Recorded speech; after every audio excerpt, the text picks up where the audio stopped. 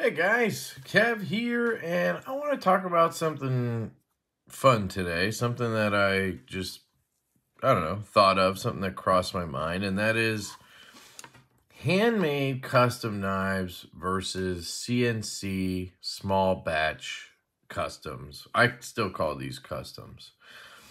And I want to know your opinion on this. Um, this is a 100% preference based thing. So I'm not sitting here to say one's better than the other.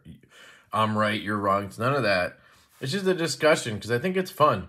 I think there's a lot of guys out there that are on the side of handmade custom knives are the epitome of what a knife collector should be after. And then I think there's people where more on my side of things, I would say this is the side I lean to, where I want the most precision engineered piece of cutlery I can get. And that is really where you're going to see the CNC small batch side of things shine, right? Now, there's obviously another category here which is basically Chinese OEM production at a high, high level of CNC precision, right? You have a lot of what's in here in this knife right here. Um, Reate can really dial in a um, production run, right? But this, as amazing as it is, probably some of, one of, if not the best overall precision engineering you're going to see out of China, right? Even with how good this is, it's not this, right? To me, at least, it's not this. This is another level. Um, and the main reason for that is sheer volume, right? They're pumping out, you know, a couple thousand of these at one time. So you're going to have variance in detents you're going to have, um, you know, some issues pop up here and there with things.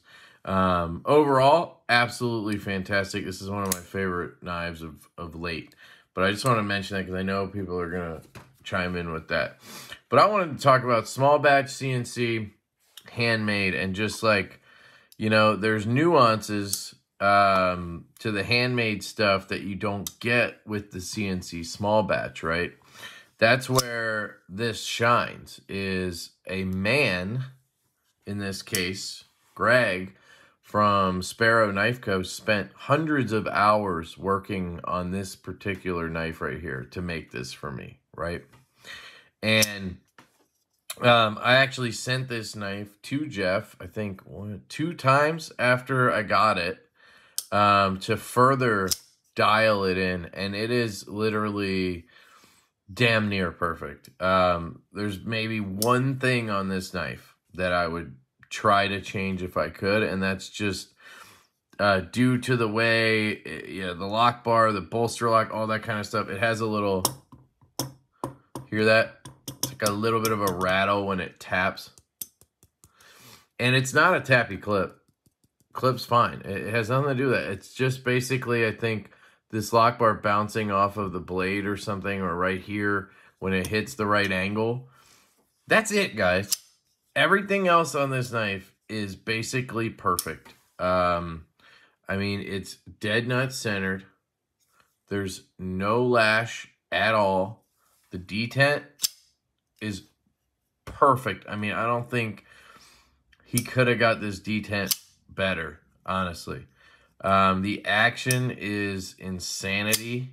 Um, it just feels so good. Now I have it really tight, so I have to give it a little shake to swing down and then, but I could loosen it up and then it would just guillotine down, but that's not what I want. I like having to give it a little bit and let it shake down and listen to that click. Just, oh my God, it's just so good. You can see the transitions here, right? I can catch that lip if I really try. Maybe there's a little gap there, right? Um, this is all hand done. So you have to understand that there's, you know, it's not going to be like it came off a CNC machine, but damn, is it not close. The level of detail on this knife that he went to is literally insane to me. Um, I'm so proud of this knife and protective of this knife. I didn't even bring it to Blade Show Texas because I had to fly for fear that you know it would get lost or stolen or something along the way. And I feel bad because I, I, wish I would have. I could have put it out on his table, and and some of you guys who were there could have handled this. And yeah, it's just a knife, but it's also a piece of art. And um, I don't do handmade knives. Like I don't own handmade knives because I'm so fucking picky that it's it's like impossible to check all the boxes for me. Um, Greg was so amazing to work with. And I actually learned a lot from Greg in this process. Um, you know, um, and uh, I'm definitely better for it. And I, I know that sounds weird, but um, this knife is not going anywhere because I have that. Just, there's just this connection with it for me. Um, but anyway, it does knife things incredibly well. It locks up very well. Um, there's no rock. There's no play of any kind. It has an absolutely ridiculously thin hollow ground blade. So this is a hand done hollow grind, which, by the way, if we look over here, this is also a hand ground blade. So there is some hand work that goes into finishing these small batch knives, obviously. So they both have these beautifully thin, just, oh my God, Magna Cut blades on both. This one I think is at uh, 63.5 or something like that. This one is at 60 to 61 HRC. I think he shoots for 61. Um, I had a whole conversation with Craig about, that's funny, Greg and Craig. I had a whole conversation with Craig about it. And um, he he says that it's optimal where it's at, and he has his reasons for it. And uh, everything he explained to me actually made sense, but I know there's going to be a whole argument of people who are like, nah, it has to be 63 and whatever. I haven't tested it yet. Um, I have used this because it's just such a usable blade, but um, I'll keep, you know, cutting with it and, and we'll see um, how the edge retention is and everything. But um, the geometry is fantastic, which I think is going to lend itself to just holding a good edge. Um, but anyway, that's really besides the point. Um, although not really. I mean, both of these, because they're small batch in this one and one off in this one, the makers have a lot more control of the heat treat. And they're deciding where to treat it to, right? So this isn't 60 61 because Craig pumps out a thousand of these at once and the heat treater can only do so much, right? Um, no, it's because he chose to go with that. And that's the range he wants to be in, and he hit it, right? And then same thing here.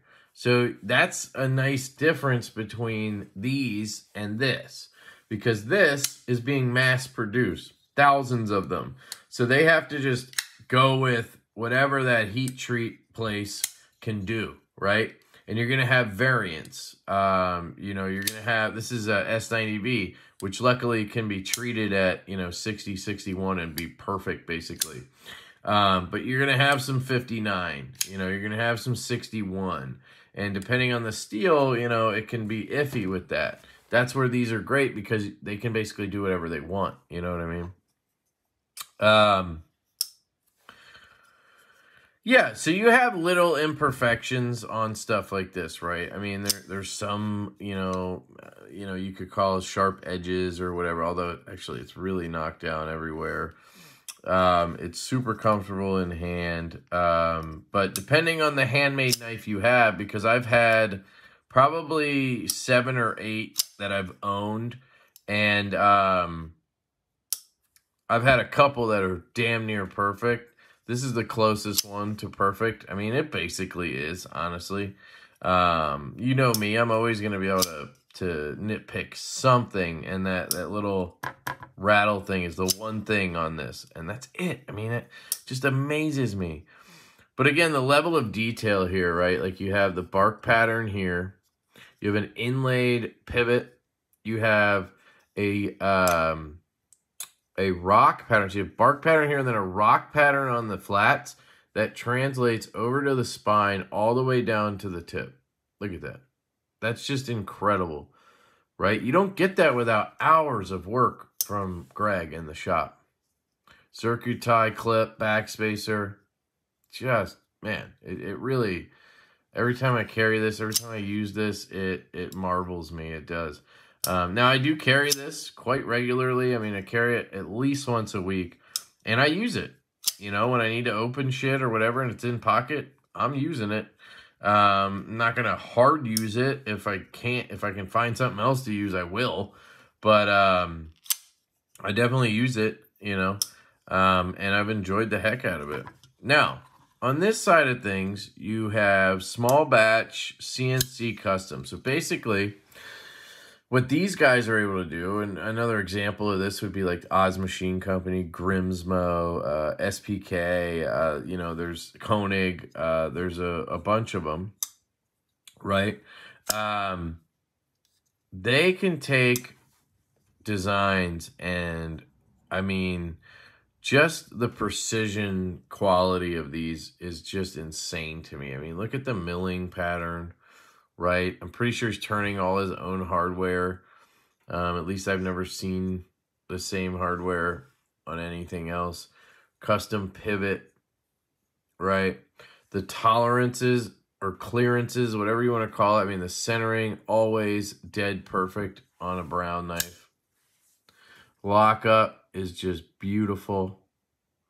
Look at how that flipper tab tucks in here. The blade locks up right here you always have really cool um sort of like uh what, what do you call them um like signature type stuff.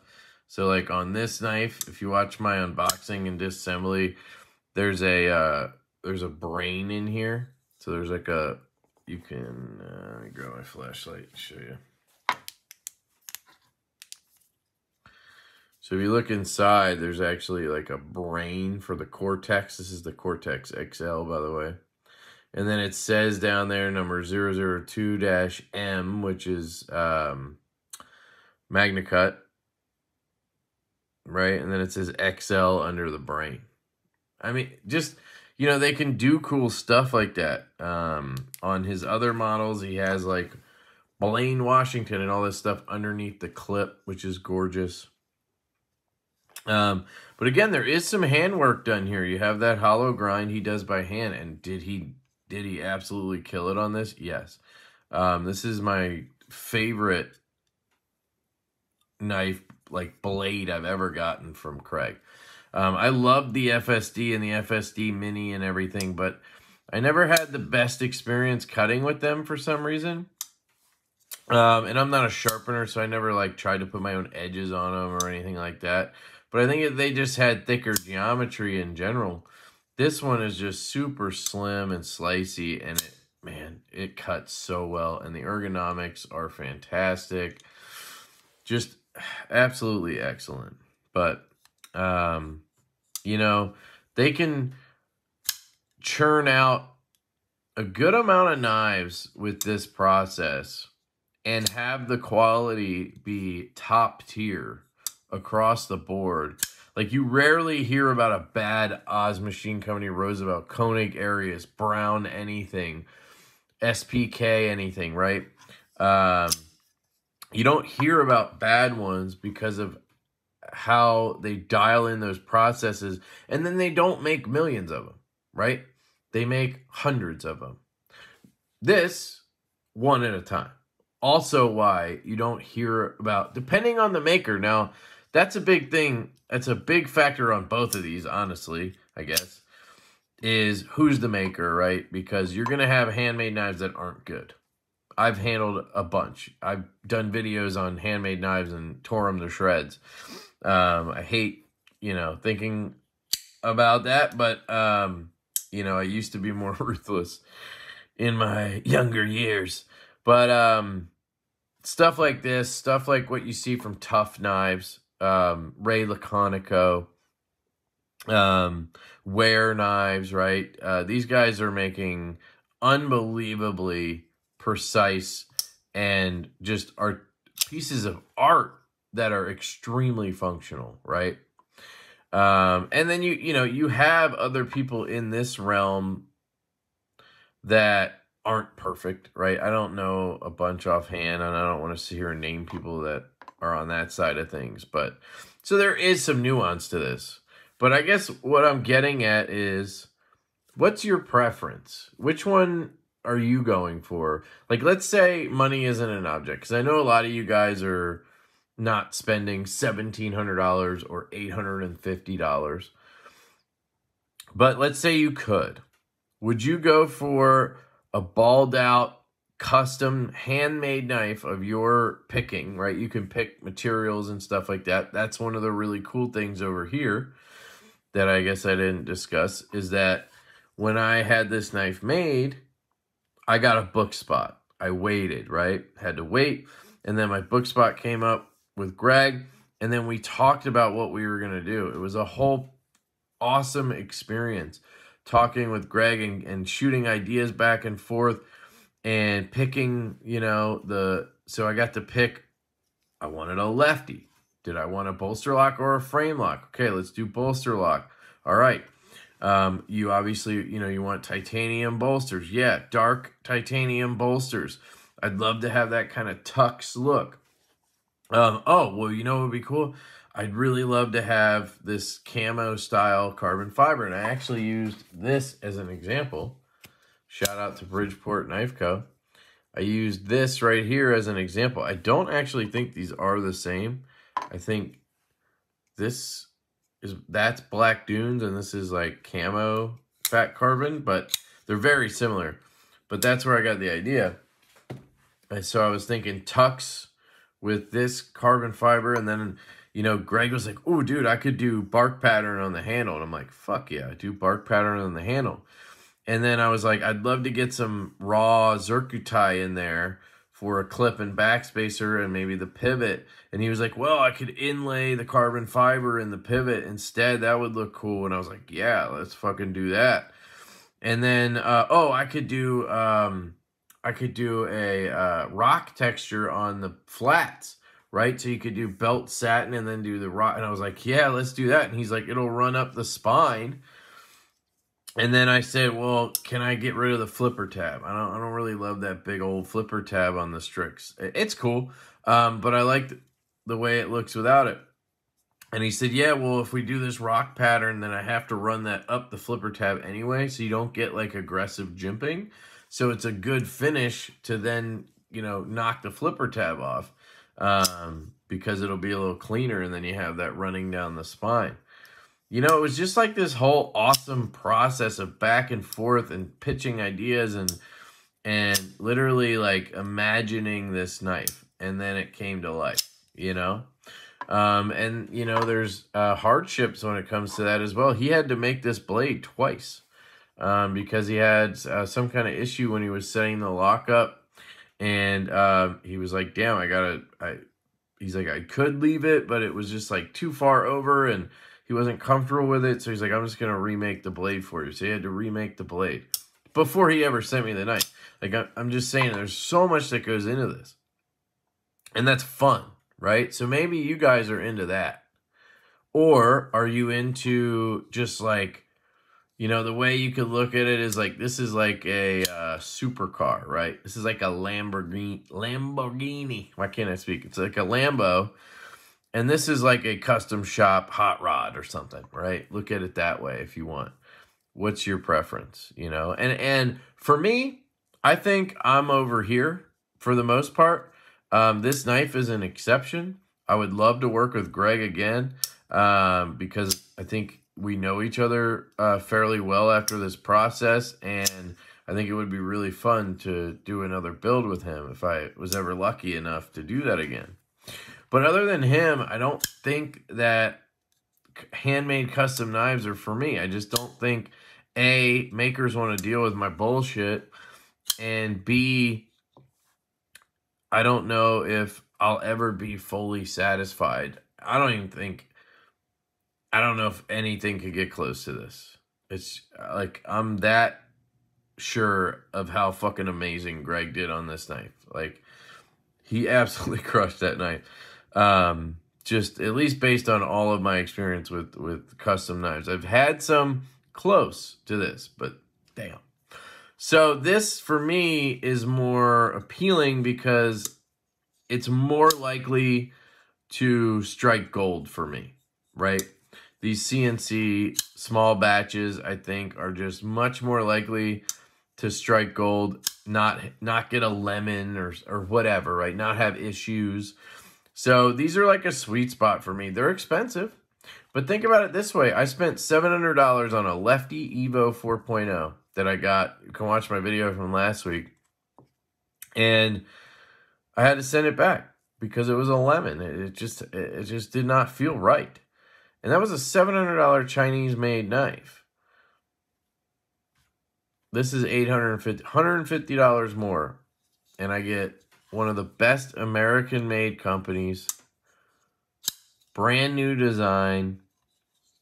Just ah, man, it's just awesome. And you still get a little taste of that connection with the maker, right? Like I, have talked to Craig, I've asked questions about the knife and the heat treat and all that kind of shit.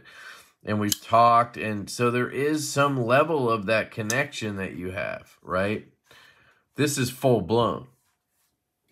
This is zero, right? I mean, sure, you can hit up Brian Ado. He's a great dude. Um, but you're not going to like have the same level of connection that you would with this for sure or even this, right? And then if you talk about something like this, just a, you know, this is a Chinese made Katuo Ventnor. This is a great knife, by the way. It needs a clip, but it's a great design, great knife. But you don't have any of that connection that you have here, right? Like, this is a good company and everything, but I don't know the person who put their hands on this and made this knife. You know what I mean?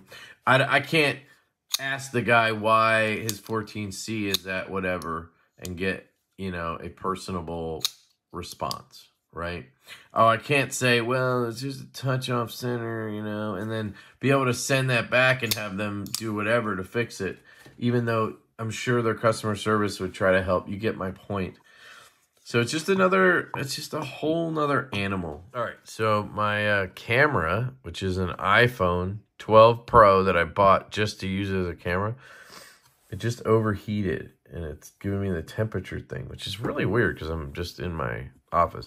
Anyway, I'm hoping it still saved that video to where it turned off because I luckily was looking at the screen. So hopefully it will. But I want to talk about, I wanted to bring out two other knives. Um, this one and this one. This is a uh, Trevor Burger Urban Custom. This is custom number 001 Urban. Um, and this is a small batch CNC custom knife, much like this. And this is the Trevor Burger EXK 30 slip joint. And I don't know how much CNC goes into this and how much this is a handmade knife. I think maybe the scales and the liners and everything are cut CNC. But I mean, there has to be a lot of handwork here, right? Because he's pinning everything. Um, they're not screwed together. That, I believe, would take handwork. Um, and then obviously you have these, I believe they're hand, they have to be hand finished, hand satins. Um, so I think this kind of has both realms in it, right? Um, this one is more on par with the uh, Cortex XL. But these are just two other examples that I have. Um, and that's really it for, for me personally in my collection. I don't have a ton of these small batch CNC custom or handmade at all, right? Um, and that's mostly due to the fact that I just don't keep uh, things super long term and I I guess I just don't like having that much money tied up and stuff. And that's where that's where we end up at the Chinese OEM stuff, right? Because it's less of an investment and assuming you get a good one, which happens a lot, you get a lot for your money. I mean, this was 325 and it's, you know, uh definitely one of the better knives you can get, you know? Um but when I can support USA, of course I will, right? That's a whole nother conversation. I guess I should be careful. Um, I don't have an issue with China because I obviously I use Chinese OEMs with my brand because I can't make knives. Um, so you know, I I get the argument for all of it, and that wasn't the point of this. Anyway, I just wanted to show these Trevor burgers. This is probably the longest tenured knife in my collection. Um, I've had this for at least two, maybe three years. And I, I don't foresee me letting it go or anything. I love this knife to death. Um, this I just recently got from Trevor on sort of a pre-order and absolutely love this. Now this did have a little issue. Um, it was wrapping so this has a kick. So that kick is supposed to stop the blade from touching the spring, but it wasn't doing that. So I had to have it sharpened. Um, and my guy Corey Dunlap sharpened it twice, and it seems like he got it out because I've been carrying, using, opening, and closing this thing. Probably been opened a few hundred times since, and the edge is still good to go. So I think we're good now, but uh, yeah. So just a couple other examples. Uh, the phone is good, so let's check. Let's see if we lost that footage. No, we got 22 minutes of it. Awesome. So, yeah, let me know your thoughts on this. Uh, I just, I guess the question that I'm posing is what, what are, what's your style? What do you prefer? Um, what do you collect? What is if money was no object? Object. What would be your um, category? You know, because some of you guys are going to say, "Well, I only spent a hundred bucks tops on a knife, so I'm not going to get something like this or this, right?" But let's say money wasn't an object. Would you be a this guy or a that guy, right? Or Maybe you're just a this guy. That's what you prefer. That's what you want. Or maybe you're a this guy, right? You're a $50 knife guy. And that's your that's what you like, that's what you love, that's what you're comfortable with. Even if you had all the money in the world, you wouldn't spend this much money. Totally understand that as well, right? Um, as I was saying earlier, I try to limit how much I do that, but it, it all is relative to me, right? Like right now, I have more of the small batch CNC custom flashlights than I do um, knives, right? Like I said, I really only have the uh, the Cortex XL, the Burger Urban, and then uh, if you want to count this, I think it would count in that category. Um, but with flashlights, I have uh, five CWF customs. I have five Hanko customs. Um, you combine all that together. I mean, the Hankos are 800 bucks a piece. They're right there at this range. So it's not that I won't spend it. It's just where I'm putting that money, what I'm into at the moment. You know what I mean? It's just kind of how it goes. And as of late, this category hasn't been like enticing me as much until this knife came out. Um, you know, I was all over that category for a while. You know, I had Rasks, I had Roosevelts, uh, you know. Um, I guess that's the thing. There's just not a ton in that category. Um, not a big SPK guy because they haven't been on bearings, but now they are. So I, I might want to try one again on bearings, but I think he's making a lefty, so I'd be interested in that for sure. Um. So yeah, I don't know. I'm just gonna shut up. I think I've I've rambled. I don't even know if I had a point, and if I got to it, great. Uh, but uh, yeah, that's really it. Let's just put these two back out. And uh, the question is handmade, custom, or CNC small batch, your choice. Let me know. And let me know why. That's it. That's what I'm asking. Um, and I'm going to shut up now. So there's some rambles for you. Just talking to talk. Um, feel free to rip me in the comments for anything I said. And uh, most importantly, I love you guys. I hope you have an absolutely fantastic day. And uh, I'll catch you later. Peace.